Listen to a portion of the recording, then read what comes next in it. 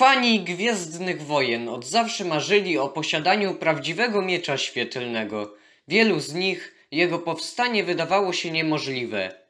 43 lata temu zobaczyliśmy tę niezwykłą broń po raz pierwszy w filmie Gwiezdne Wojny, epizod czwarty Nowa Nadzieja. Od tego czasu mogliśmy zobaczyć wiele niesamowitych zdolności, jakie daje nam ta broń, oraz dużo genialnych pojedynków. Fani przez ten czas kupowali zabawkowe miecze, repliki mieczy, aby móc poczuć chociaż namiastkę tego, co czuliby mając w rękach prawdziwą broń. Ale w tym tygodniu nasze patrzenie na realność powstania tej broni zmieniło się. Oto on! Pierwszy w historii prawdziwy miecz świetlny.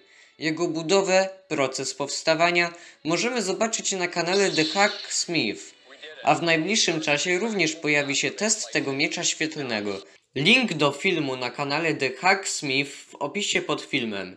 Zapraszam do subskrypcji mojego kanału, naciśnięcia dzwoneczka, aby otrzymywać powiadomienia oraz do oceny tego filmu. Dziękuję za obejrzenie.